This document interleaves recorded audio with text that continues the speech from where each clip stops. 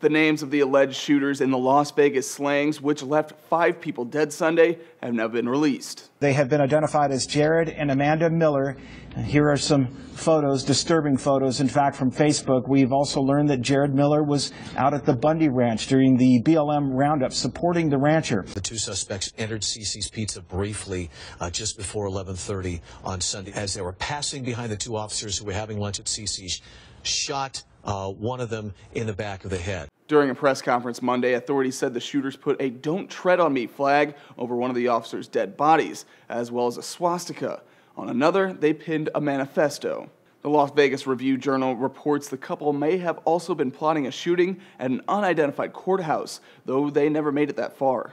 The shooters killed three people in all during their rampage two police officers, Alan Beck and Igor Soldo, along with Robert Wilcox, a citizen who tried to stop the shooters after they were holed up inside a nearby Walmart. Amanda Miller reportedly shot Jerad before taking her own life. For Newsy, I'm Matt Moreno.